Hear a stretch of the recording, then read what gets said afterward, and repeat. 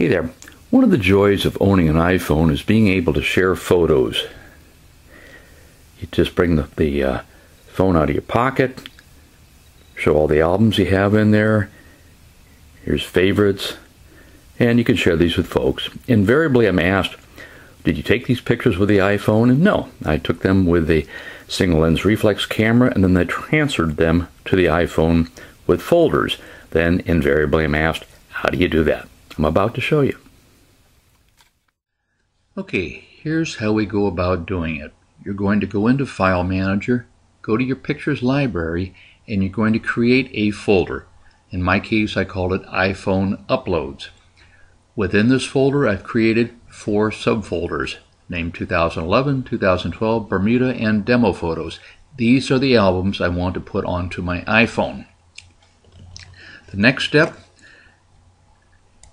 is to plug your iPhone into your PC or laptop with a data cable and it may or may not bring up iTunes. If it doesn't, you have to open iTunes. You wait until it identifies your phone. You can see there where it's circled.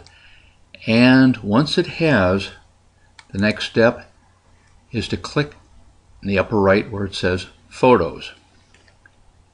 Once you've done that, you'll have several options. Click where it says Sync Photos, and then in the drop down, pick Choose Folder.